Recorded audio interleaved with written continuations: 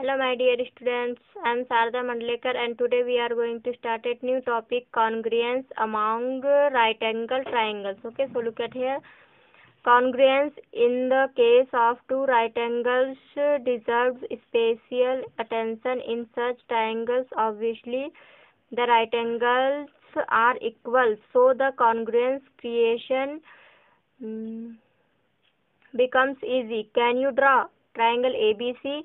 with angle B is equal to 90 degree if only BC is known, only angle C is known, angles A and angle C are known, um, AB and BC are known, AC and one of AB or BC are known.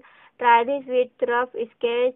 You will find that fourth and fifth help you to draw the triangle but case fourth is simply the SAS condition case fifth is something new.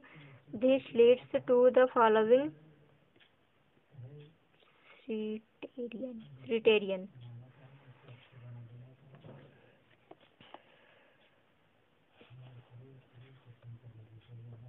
RHS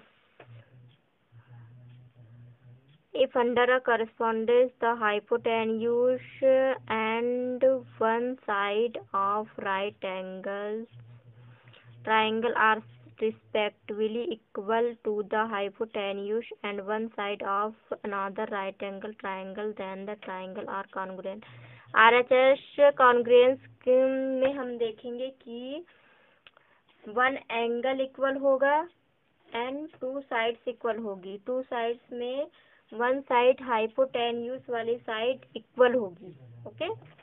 जैसे example eight में आप देख सकते हैं, okay? यहाँ two triangle given है and angles and length given है।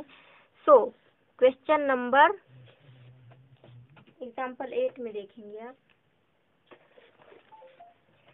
ये टू ट्राइंगल हमारे पास क्या है?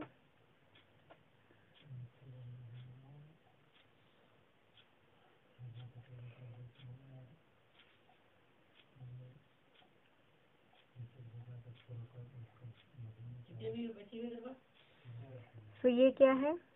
90 डिग्री का एंगल। सो ए बी सी में देखेंगे A B C R P Q three centimetre eight centimetre three centimetre eight centimetre यहाँ पर नोट कर सकते हैं नाइन्टी डिग्री या नहीं भी करेंगे तो चलेगा ठीक है? सो इसमें आप देखेंगे angle P is equal to angle B is equal to ninety degree okay and side P R is equal to side A B A is equal to three centimetre and side R Q is equal to A C is equal to eight centimetre okay so two sides इसमें equal है P R A B and U वाली sides equal है। So two sides equal है okay two sides and one angle equal है। So so, यहाँ पर S S congruence होगा okay okay? ये क्या है इसमें? हाइपोटेनियस तो टाका screen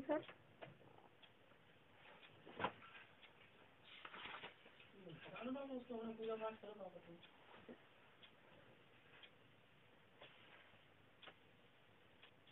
student this is your homework question of according to try this page number 148 and exercise 7.2 of page number 149, 50 and 51 okay जो क्वेश्चन आपसे नहीं बनेंगे या समझ में नहीं आएँगे वो आप पूछ सकते हैं। Thank you